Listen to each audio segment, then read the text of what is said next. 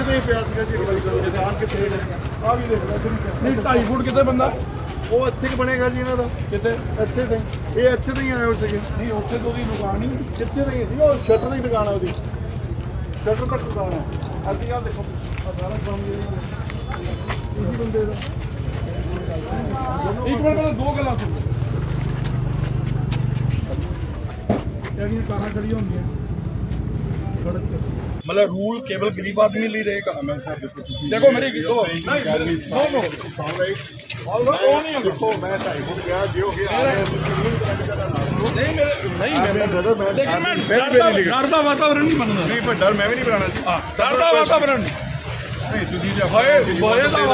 ਕੋਈ ਨਹੀਂ। ਉਹ ਗੱਲ ਕਰਨੀ ਬੈਠ ਕੇ ਕਰਕੇ। ਨਹੀਂ ਉਹਨੇ ਗੱਡੀ ਇਹ ਅਰੋਟਮੈਂਟ ਨਹੀਂ ਹੈ। ਹਾਂ ਪ੍ਰਸ਼ਨ ਤੇਰੋ ਹੈਗਾ ਜੋ ਇਹਨਾਂ ਨੂੰ ਤੰਗ ਕਰਾਂਗੇ ਉਠਾਵਾਂਗੇ ਤੇ ਕਿੱਥੇ ਲਾਣੀ ਹੈ ਇਹ ਕਿੱਥੇ ਲਾਣੀ ਹੈ ਇਹ ਸਮਝ ਦੇਗਾ ਮੈਂ ਵੀ ਆਖਦਾ ਮੈਂ ਵੀ ਆਖਦਾ ਮੈਂ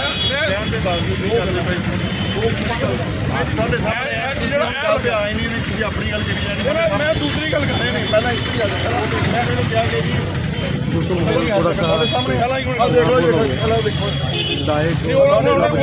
ਹੈ, ਉਸ ਤੋਂ ਦੇਖੋ ਸਾਡੇ ਸਾਹਮਣੇ ਪਈ ਹੈ। ਉਹ ਬਈ ਜੋ ਜਿੰਨਾ ਕਹਿੰਦੇ ਆ ਉਹਨਾਂ ਕਰੋ ਨਾ। ਨਹੀਂ ਕਰਦੇ ਭਾਈ ਆਪਾਂ ਕਿਉਂ ਨਹੀਂ ਕਰਦੇ ਉਹਨਾਂ?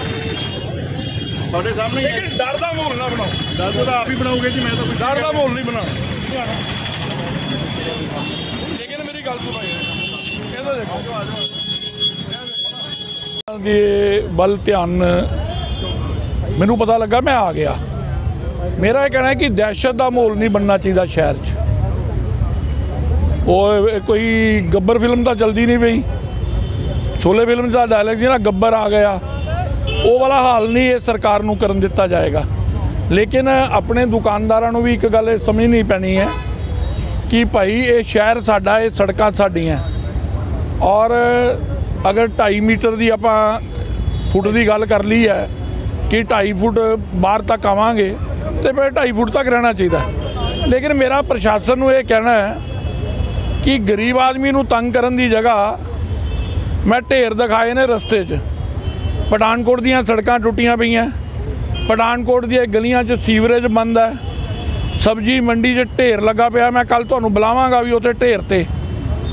ਇਹ ਜਿਹੜੀਆਂ ਮੁੱਢਲੀਆਂ ਜ਼ਰੂਰਤਾਂ ਹੈ, ਪ੍ਰਸ਼ਾਸਨ ਉਹਨੂੰ ਲੈ ਕੇ ਸਕਰੀਏ ਕਿਉਂ ਨਹੀਂ ਹੈਗਾ? ਆਖਿਰ ਇਹ ਜਿਹੜੀ ਮੁਹਿੰਮ ਹੈ ਇਹਦੇ ਅੰਦਰ ਕਿਆ ਹਰ ਦੁਕਾਨਦਾਰ ਦੀ ਇਨਵੋਲਵਮੈਂਟ ਨਹੀਂ ਹੋਣੀ ਚਾਹੀਦੀ? ਕਿਆ ਮਿਲ ਕੇ ਨਹੀਂ ਮਾਹੌਲ ਬਣਾਇਆ ਜਾ ਸਕਦਾ?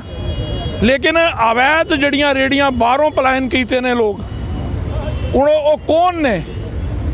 ਉਹਨਾਂ ਦਾ ਆਈ ਕਾਰਡ ਕੀ ਹੈ? ਉਹ ਕਿੱਥੋਂ ਦੇ ਰਹਿਣ ਵਾਲੇ ਨੇ? ਉਸ ਉਹਦੀ ਰਜਿਸਟ੍ਰੇਸ਼ਨ ਕਿੱਥੋਂ ਦੀ ਹੈ? ਕਿਆ ਇਹ ਚੱਕਾ ਚੈੱਕ ਕਰਨ ਵਾਲਾ ਦਾ ਕੰਮ ਨਹੀਂ ਹੈ? ਸੁਰੱਖਿਆ ਨਾਲ ਜੁੜਿਆ ਹੋਇਆ ਮਾਮਲਾ ਹੈ। ਇਸ ਕਰਕੇ ਮੈਨੂੰ ਪਤਾ ਲੱਗਾ ਡੀਸੀ ਸਾਹਿਬ ਆਏ ਨੇ ਮੈਂ ਕਿਹਾ ਚਲੋ ਆਪਾਂ ਵੀ ਜੁਆਇਨ ਕਰ ਲਈਏ। ਧੱਕੇਸ਼ਾਹੀ ਨਹੀਂ ਹੋਏਗੀ। ਲੇਕਿਨ ਸ਼ਹਿਰ ਦੀਆਂ ਸੜਕਾਂ ਖੁੱਲੀਆਂ ਹੋਣ ਇਹਦੇ 'ਚ ਆਪਾਂ ਨੂੰ ਵੀ ਸਹਿਯੋਗ ਕਰਨਾ ਪਏਗਾ। ਲੇਕਿਨ ਡਰ ਪਾ ਕੇ ਮੁੱਢਲੀਆਂ ਜ਼ਰੂਰਤਾਂ ਤੋਂ ਧਿਆਨ ਹਟਾ ਕੇ ਗਰੀਬ ਆਦਮੀ ਨੂੰ ਤੰਗ ਕਰਨਗੇ ਤੇ ਅਸ਼ਵਨੀ ਸ਼ਰਮਾ ਉੱਥੇ ਖੜਾ ਹੈ। ਹਰ ਵੇਲੇ ਖੜਾ ਨਾਲ ਤੁਸੀਂ ਕਿੱਥੋਂ ਤੱਕ ਸਹਿਮਤ ਹੋ ਜਿਹੜੀ ਚਲਾਈ ਜਾ ਰਹੀ ਹੈ ਇਹਨਾਂ ਵੱਲੋਂ? ਨਹੀਂ ਯੋਜਨਾਬੱਧ ਤਰੀਕੇ ਨਾਲ 2.5 ਫੁੱਟ ਤੱਕ ਅੱਗੇ ਆ ਸਕਦੇ ਆ। ਢਾਈ ਦੀ ਜਗ੍ਹਾ ਤਿੰਨ ਕਰ ਲੈਂਦੇ ਆਪਸ ਚ। ਲੇਕਿਨ ਆਪਸ ਚ ਕਿਹਨਾਂ ਨੇ ਕੀਤਾ? ਇਫੈਕਟਿਵ ਕੌਣ ਹੈ ਇਹ ਵੀ ਥੋੜਾ ਦੇਖਣਾ ਪਏਗਾ। ਮੈਂ ਹੁਣ ਇਹ, ਇੱਕ ਖੰਭਾ ਖੰਭੇ ਦੀ ਆੜ 'ਚ ਅਗਰ ਕੋਈ ਖੜਾ ਹੈ ਉਤੋਂ ਤੇ ਅਸੀਂ ਲੰਘਣਾ ਨਹੀਂ, ਜਾਂ ਤਾਂ ਪਹਿਲਾਂ ਖੰਭਾ ਪਿੱਛੇ ਕਰ ਲਈਏ। ਅਨੇਕ ਤਰ੍ਹਾਂ ਦੀਆਂ ਸਮੱਸਿਆਵਾਂ ਹੁੰਦੀਆਂ। ਲੇਕਿਨ ਇਹ ਆਪਣ, ਆਪਾਂ ਦੇ ਨੂੰ ਸ਼ਹਿਰ ਦੇ ਲੋਕਾਂ ਨੂੰ ਸ਼ਹਿਰ ਨਾਲ ਪਿਆਰ ਵੀ ਕਰਨਾ ਚਾਹੀਦਾ। ਭਏ 'ਚ ਨਹੀਂ ਰਹਿਣਾ ਚਾਹੀਦਾ। ਗੱਲਬਾਤ ਦੇ ਮਾਧਿਅਮ ਦੇ ਨਾਲ ਕੋਈ ਵੀ ਸਮੱਸਿਆ ਅਸੀਂ ਨਹੀਂ, ਜਿਹਦਾ ਹੱਲ ਨਹੀਂ ਨਿਕਲਦਾ, ਕੱਢਣਾ ਚਾਹੀਦਾ। ਲੇਕਿਨ ਮੈਨੂੰ ਤੇ ਇਉਂ ਲੱਗ ਰਿਹਾ ਸੀ, ਮੈਂ ਤਾਂ ਅੱਜ ਨਾਲ ਜੁਆਇਨ ਕੀਤਾ ਕਿ ਇੱਥੇ ਡਰ ਦਾ ਇੱਕ ਮਾਹੌਲ ਸੀ। ਜਿਹਦਾ ਛੋਲੇ 'ਚ ਕਹਿੰਦੇ ਨਾ, ਗੱਬਰ ਆ ਗਿਆ। ਉਹਦੇ ਕਹਿੰਦੇ ਡੀਸੀ ਆ ਗਿਆ। ਤੇ ਮੈਂ ਕਿਹਾ ਵੀ ਡੀਸੀ ਆ ਗਿਆ ਤੇ ਮੈਂ ਵੀ ਆ ਗਿਆ। ਤੋਂ ਹੁਣ ਮੈਂ ਉਸ ਕਰਕੇ ਆਇਆ ਸੀ। ਐਮਐਲਏ ਸਾਹਿਬ ਕਈ ਦੁਕਾਨਦਾਰ ਜਿਹੜੇ ਕਿ ਇੱਕ ਵਾਰੀ ਤੇ ਕਰੋਚਮੈਂਟ ਹਟਾ ਲੈਂਦੇ ਆ ਪਰ ਦੁਬਾਰਾ ਉਹਨਾਂ ਦੇ ਵੇਲੇ ਕਰੋਚਮੈਂਟ ਕਰ ਲਈ ਜਾਂਦੀ ਆ। ਥੋੜਾ ਜਿਹਾ ਐਜੂਕੇਸ਼ਨ ਐਜੂਕੇਟ ਕਰਨਾ ਪਏਗਾ। ਆਪਣੇ ਹੀ ਲੋਕ ਨੇ ਆਪਣੇ ਵਿੱਚੋਂ ਨੇ। ਉਹਨਾਂ ਨੂੰ ਥੋੜਾ ਐਜੂਕੇਟ ਕਰਾਂਗੇ ਉਦੋਂ ਹੋਏਗਾ। ਅ, ਤੁਸੀਂ ਸਾਰੇ ਜਾਣਦੇ ਹੋ ਕਿ ਪਿਛਲੇ ਆਲਮੋਸਟ 3 ਹਫ਼ਤੇ ਤੋਂ ਤਾਂ ਬਹੁਤ ਇੰਟੈਂਸਿਵ ਡਰਾਈਵ ਚੱਲ ਰਹੀ ਹੈ ਸਾਡੀ। ਹਾਲੇ ਤੱਕ ਬਾਰ-ਬਾਰ ਬਾਰ-ਬਾਰ ਅਸੀਂ ਜਾ ਕੇ ਬੜੇ ਪ੍ਰੇਮ ਪੂਰਵਕ ਸਭ ਨੂੰ ਰਿਕੁਐਸਟ ਕਰਦੇ ਰਹੇ ਹਾਂ। 90-95% ਜਿਹੜੇ ਲੋਕ ਹੈਗੇ ਆ, ਉਹ ਇਸ ਵੇਲੇ ਜਿਹੜੇ ਹੈਗੇ ਆ ਉਹਨਾਂ ਨੇ ਆਪਣਾ ਸਾਰਾ ਸਿਸਟਮ ਠੀਕ ਕਰ ਲਿਆ ਪਰ ਕੁਝ ਬੰਦੇ ਸ਼ਾਇਦ ਆਦਤਾਂ ਪੁਰਾਣੀਆਂ ਉਹਨਾਂ ਦੀਆਂ, ਜਾਂ ਉਹਨਾਂ ਦਾ ਕੋਈ ਹੋਰ ਵਿਹਾਰ ਦੀ ਗੱਲ ਹੈਗੀ ਆ, ਜਿਹੜੇ ਨਹੀਂ ਹਟਦੇ। ਸੋ ਅੱਜ ਸਵੇਰੇ ਵੀ ਮੈਂ ਐਕਚੁਅਲੀ ਕਿਸੇ ਫੰਕਸ਼ਨ ਲਈ ਇਸ ਰੋਡ ਤੇ ਗਿਆ ਮੈਂ ਦੇਖਿਆ ਕੁਝ ਦੁਕਾਨਦਾਰ ਹਾਲੇ ਵੀ 8-10 ਸੀਗੇ, ਜਿਹੜੀ ਦੁਕਾਨ ਤੋਂ ਘੱਟੋ ਘੱਟ 10-10 ਫੁੱਟ ਅੱਗੇ ਆਏ ਹੋਏ ਸੀਗੇ। ਸੋ ਵਾਪਸ ਆਉਂਦੇ ਹੋਏ then I had a walk with my staff ਤਾਂ ਅਗੇਨ ਬੜੇ ਪਿਆਰ ਨਾਲ ਹੀ ਦੱਸਿਆ ਹੈਗਾ ਜਿਹੜੇ ਨਹੀਂ ਹਟ ਰਹੇ ਸੀ, ਕਈਆਂ ਦਾ ਸਮਾਨ ਵੀ ਚੱਕਿਆ ਹੈਗਾ। ਪਰ ਸਮਾਨ ਵੀ ਚੱਕਰ ਚ ਵੀ ਹੈਵ ਟਰਾਈਡ ਕਿ ਮਹਿੰਗਾ ਸਮਾਨ ਨਾ ਜਾਵੇ ਉਹਨਾਂ ਦਾ ਐਟਲੀਸਟ ਰਿਅਲਾਈਜ਼ ਹੀ ਕਰਵਾਉਣਾ ਹੈ ਬੰਦੇ ਨੂੰ ਕਿ ਭਾਈ ਸਾਹਿਬ ਤੁਸੀਂ ਗਲਤ ਕੰਮ ਕਰ ਰਹੇ ਹੋ।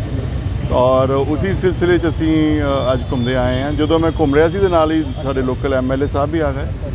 ਤੇ ਉਹਨਾਂ ਨੂੰ ਵੀ ਇਹੀ ਦੱਸਿਆ ਕਿ ਜੀ, ਸਭ ਨਾਲ ਜਦੋਂ ਅੱਜ ਤੋਂ ਮੇਰੇ ਖਿਆਲ ਲਾਸਟ ਵੀਕ 30 40 ਜਿਹੜੇ ਤੁਹਾਡੇ ਆਫ- ਆਏ ਸੀਗੇ, ਵਪਾਰ ਮੰਡਲ ਦੇ ਬੰਦੇ ਆਏ ਸੀਗੇ, ਅਲੱਗ-ਅਲੱਗ ਪਾਰਟੀਆਂ ਦੇ ਆਏ ਸੀ, ਸਭ ਨਾਲ ਬਹਿ ਕੇ ਸਹਿਮਤੀ ਹੋਈ ਸੀ। ਕਿ ਤੁਸੀਂ ਜਿਹੜੀ ਮੇਨ ਏਪੀਕੇ ਰੋਡ ਹੈਗੀ ਆ ਢਾਂਗੂ ਰੋਡ ਹੈਗੀ ਆ ਸਿਆਲੀ ਰੋਡ ਹੈ। ਤੁਸੀਂ ਜਿੱਥੇ ਦੁਕਾਨ ਦਾ ਸ਼ਟਰ ਹੈ ਉਸ ਤੋਂ ਤਕਰੀਬਨ 2.5 ਫੁੱਟ ਤੋਂ ਜ਼ਿਆਦਾ ਅੱਗੇ ਨਹੀਂ ਆਣਾ ਬਾਕੀ ਬਾਜ਼ਾਰ ਜਿਹੜਾ ਹੈਗਾ ਇੱਕ 1.5 ਫੁੱਟ ਦੀ ਗਲੀਆਂ ਛੋਟੀਆਂ ਹੈਗੀਆਂ।